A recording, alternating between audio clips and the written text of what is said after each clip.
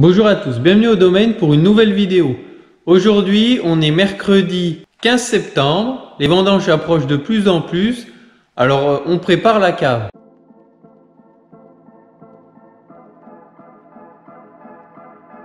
Le vlog Vigneron, découvrez notre quotidien pendant les vendanges, de la vigne au cuvage. Vous le voyez derrière moi, j'ai le pressoir qui est sorti, du moins il est mis euh, au milieu de la cave pour le laver et puis euh, d'une manière générale hein, on va laver toutes les cuves euh, parce qu'elles ont toutes été lavées après avoir euh, contenu du vin. À l'embouteillage quand elles ont été vidées elles ont toutes été lavées. Mais mine de rien ça fait deux mois pour certaines qu'elles n'ont plus de vin d'autres ça fait bien plus longtemps.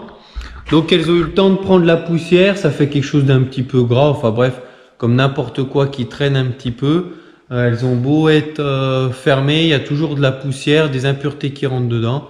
Donc là, c'est pas très compliqué, mais le but, c'est de laver tout ça. Et puis aussi, souvent, au quotidien, eh ben, des fois, entre deux vins, ou euh, là, après l'embouteillage, j'avais pas pris le temps d'enlever tout le tartre. Alors, j'avais enlevé le plus gros, mais il en reste souvent autour des robinets, à l'intérieur, des choses comme ça.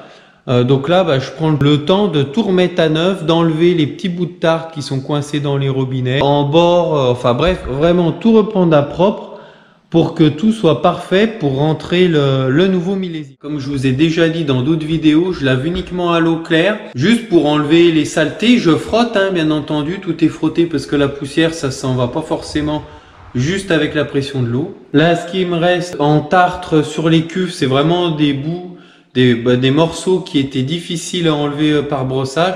Donc là, j'utilise un produit que je viens appliquer contre le tarte, qui le fait fondre. Il n'y a plus qu'à brosser un petit coup et ça part tout seul. Ce produit-là n'est pas un désinfectant.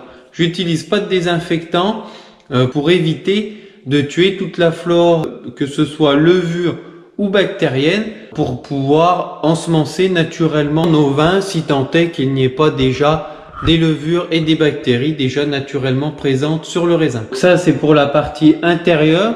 Pour la partie extérieure, je vais appliquer un produit aussi euh, parce que vous allez voir, c'est quand même euh, plutôt entartré. Hein. Vous avez toutes les, là on voit bien la lumière. Vous avez toutes les traces d'éclaboussure. Alors c'est c'est que de l'eau, hein, c'est que des, des traces d'eau. C'est le dépôt calcaire. Donc c'est rien de bien méchant, mais ça fait quand même très sale. Donc le but, avant de démarrer une nouvelle campagne, bah, c'est de repartir avec des cuves qui sont complètement propres. Parce qu'après, une fois qu'il y a le vin dedans, j'aime pas trop appliquer des produits sur les cuves, même si c'est des produits que l'on peut utiliser dans un milieu euh, vinicole. Donc là, j'en profite que toutes mes cuves soient vides pour pouvoir nettoyer de fond en comble les cuves intérieures, extérieures. Le pressoir va subir le même sort. Alors lui, je l'avais bien désinfecté à la fin de la campagne, à la fin de, du millésime 2020. Lui, je le désinfecte parce que ça me permet de le récupérer complètement propre parce qu'à l'intérieur de la cage, si je le désinfecte pas, des moisissures ont tendance à se développer dedans. C'est pas terrible. Donc là, il y a juste un bon rinçage à l'eau claire et puis frotter pour enlever, pour décoller la poussière. Je parle des cuves du pressoir, mais bien entendu, tout ce qui est autre matériel que ce soit les tapis, les raffoirs, euh, le petit matériel, les bondes, les, les crépines, enfin bref, tout, tout va y passer pour que tout soit, soit bien propre pour accueillir le vin. J'en profite aussi pour euh, remettre en marche tout le matériel, bah, laver le pressoir, euh, laver les tapis, bah, ça permet aussi de les remettre en fonctionnement pour voir qu'ils aient bien passé l'hivernage et qu'il n'y ait pas de problème particulier dessus. J'ai oublié de vous montrer avant, mais là vous avez le résultat après. Donc souvent le tarte c'est dans tous ces petits interstices qu'il reste bien. Euh, là vous voyez tout est propre, la cuve brille, elle est prête à accueillir du vin. Les tonneaux, euh, je m'en occupe pas pour l'instant. On les avait méchés, donc là je les laisse euh, bah, avec la quantité de, de SO2 qu'ils ont à l'intérieur lié au méchage. Je les laisse encore quelques jours et puis euh, un jour ou deux avant, eh je les rincerai à l'intérieur et puis je les mouillerai bien pour éviter qu'ils absorbent euh, trop de vin et puis qu'il y ait éventuellement des fuites. Bon, c'est pas le travail le plus passionnant, mais il n'y a pas, il faut le faire. Le but, bah, c'est de garder le matériel dans le meilleur état possible. On a quand même pas mal de, de matériel neuf, donc le but c'est de pas avoir du matériel crado, de bien le garder neuf euh, le plus longtemps possible, hein, parce qu'à chaque année, bah, si on lave pas, euh, ça devient vite euh, très sale. Donc là, le but c'est chaque année faire vraiment propre, aussi bien d'aspect esthétique. Hein, L'extérieur c'est pas hyper important, mais moi j'aime bien conserver du matériel qui brille bien. Et puis l'intérieur, eh bien ça évite d'avoir des mauvaises choses qui traitent dans les culs.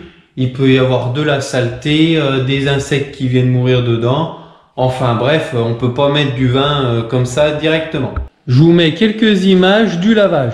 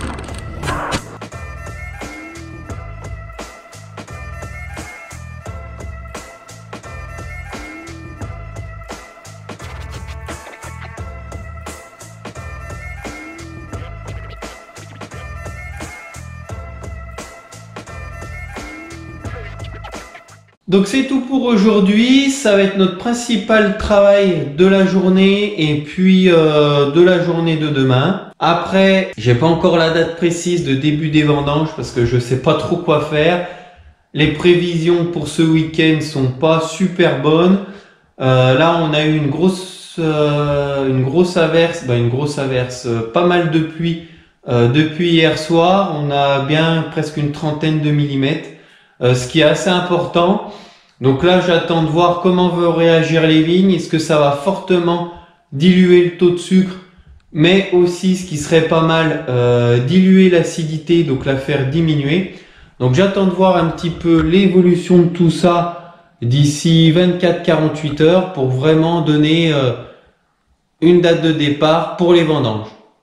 En attendant, j'espère que cette vidéo vous a plu. N'hésitez pas à poser vos questions en commentaire. À la prochaine au domaine